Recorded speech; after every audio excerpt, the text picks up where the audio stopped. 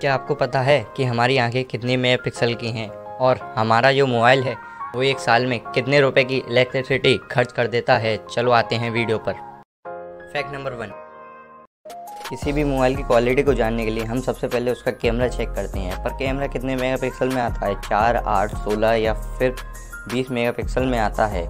पर क्या आपको पता है आपकी आँखें कितनी मेगापिक्सल की होती हैं? बहुत सारे साइंटिस्ट कैलकुलेशन के बाद डॉक्टर रॉजर क्लार्क ने बताया कि इंसान की आँखें 576 मेगापिक्सल की होती हैं, किसी भी कैमरे या किसी भी हाईटेक मोबाइल के मुकाबले। Fact number two. हमारा मोबाइल एक साल में कितने रुपए की इलेक्ट्रिसिटी खर्च कर देता है? औसतन एक मोबाइल फ़ोन को चार्ज करने का खर्च एक साल में आठ से अट्ठाईस रुपये तक आता है। अगर हम आईफोन सेवन को एक साल तक चार्ज करें तो उसका खर्च 14.28 आता है। और नोकिया मोबाइल को चार्ज करने का खर्च छः रुपये आता है।